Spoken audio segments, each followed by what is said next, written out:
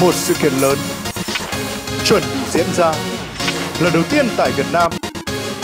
Hai hội cổ động viên Arsenal và Manchester United cùng cổ vũ cuồng nhiệt. Arsenal chiến thắng. Các fan quỷ đỏ các bạn hãy cùng cổ Linh cổ vũ cho Manchester United nhé. Chúng ta sẽ có một đêm ờ, bóng đá thực sự cuồng nhiệt và thú vị. Pháo thủ tiến lên. Mình tin rằng Arsenal sẽ giành chiến thắng. Tôi mong chờ trận thắng cho Tiến lên pháo thủ. Ban chiến của tôi sẽ là đội bóng giành chiến thắng. Người các bạn quyết định sẽ là Martial. Mình là một fan của Arsenal. Quỷ đỏ chiến thắng. Arsenal cố lên. Sôi động cùng âm nhạc, cuồng nhiệt cùng thể thao. Tiến lên pháo thủ